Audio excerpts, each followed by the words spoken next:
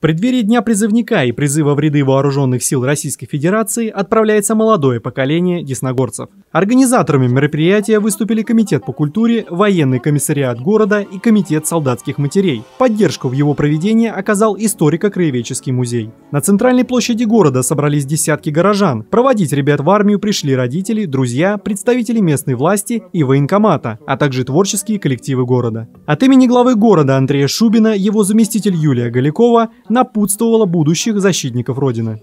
Помните, что вы выросли на Смоленской земле. Не забывайте о героическом прошлом Родине и о наших земляках. Уверен, что армейская служба станет для вас хорошей школой жизни. Желаю вам, дорогие призывники, представлять наш город только с его лучшей стороны.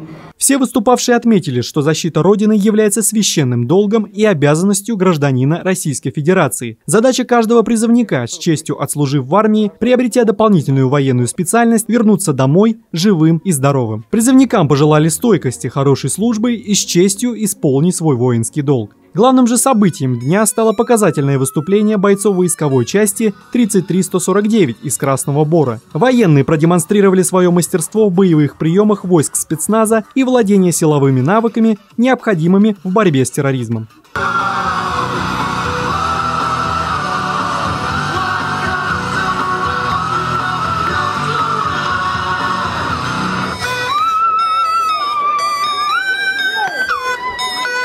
Председатель комитета солдатских матерей Валентина Рожкова поблагодарила все структуры за помощь в организации и проведении военно-патриотических мероприятий, необходимых для воспитания молодежи. Это большая гордость и радость для матерей, что мы можем совместно проводить такие мероприятия, которые необходимы для воспитания военно-патриотического направления молодежи, для будущих защитников.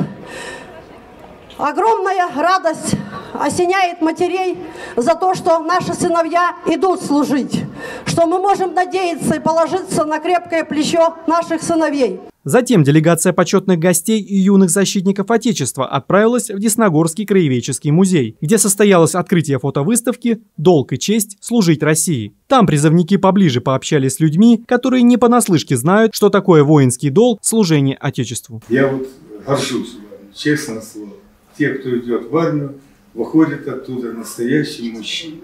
А сейчас у вас стадия перехода от юношества к мужчине.